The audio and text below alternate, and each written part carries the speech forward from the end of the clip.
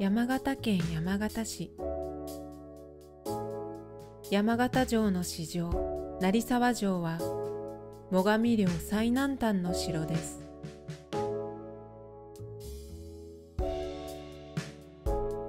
戦国時代最上義明と伊達照宗が争った柏木山合戦では成沢城主成沢道中が籠城したと伝わっています。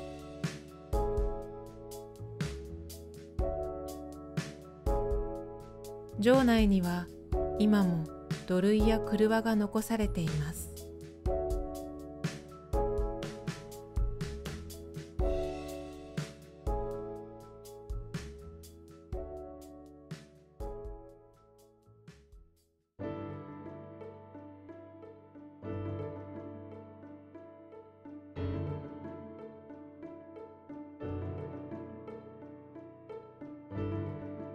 春には大山桜、小節、椿、山吹が咲き、足元にはシャガ、カタクリなどの可憐な花も見られます。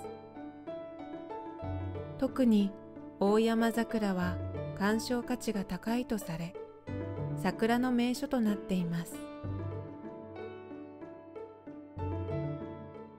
成沢城は昔から信仰の山として多くの登山者を集めた滝山の登山口に位置します。そのため周辺には信仰の痕跡を残す石造物などが数多く残されています。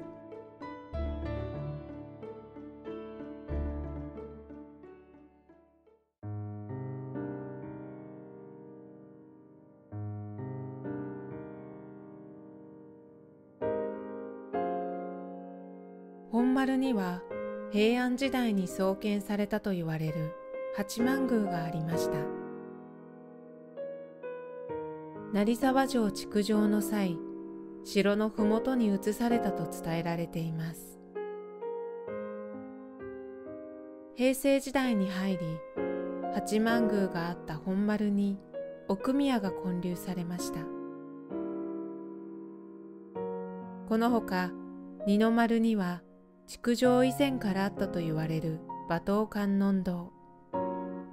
麓には歴代城主から厚く信仰された上楽寺があり今でも地域住民の素朴な祈りの山となっています。